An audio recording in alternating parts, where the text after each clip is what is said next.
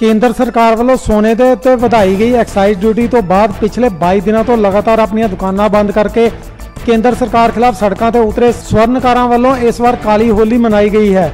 ਦਰਅਸਲ, ਇਹ ਸਵਰਨਕਾਰ ਆਪਣੀ ਮੰਗ ਮਨਵਾਉਣ ਲਈ ਅਤੇ ਵਧਾਈ ਗਈ ਡਿਊਟੀ ਖਤਮ ਕਰਨ ਲਈ ਅਣਮਿੱਥੇ ਸਮੇਂ ਦੀ ਹੜਤਾਲ ਤੇ ਹਨ ਅਤੇ ਲਗਾਤਾਰ ਕੇਂਦਰ ਸਰਕਾਰ ਖਿਲਾਫ ਵਿਰੋਧ ਪ੍ਰਦਰਸ਼ਨ ਕਰ ਰਹੇ ਹਨ। ਉਹਨਾਂ ਇਸ ਮੌਕੇ ਸੰਘਰਸ਼ ਨੂੰ ਹੋਰ ਤਿੱਖਾ ਕਰਨ ਦੀ ਚੇਤਾਵਨੀ ਵੀ ਦਿੱਤੀ।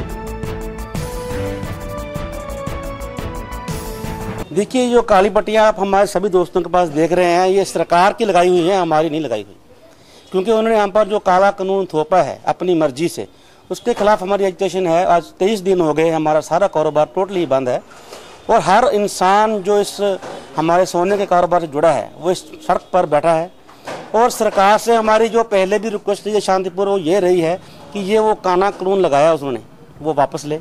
और मोदी जी बखूबी जानते हैं ये एक आम इंसान की जो दिक्कत है रोज़मर्रा की, जिसने रोज़ कमाना है और रोज़ खर्च करना है, वो क्या है? तो मोदी साहब से हम ये बेनती करते हैं, ऑल इंडिया सभी की तरफ़ से, कि मोदी साहब, कृपा आप ध्यान दें हाँ, हम एक तानाशाह को अपनी रिपोर्ट नहीं भेज सकते, उसको अपना दर्द नहीं बता सकते, क्योंकि वो शुरू में रोल होते हैं। लेकिन आपने जो एक अपना लेवल बनाया है, वो एक बहुत ही लोअर लेवल से आप एक प्रेसिडेंट बने हो, जो कि हर इंसान नहीं बन सकता।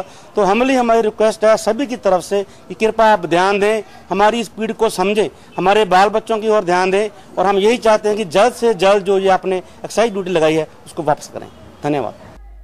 मोगा तो अवतार सिंह खुरमी की रिपोर्ट पाँच आप टुडे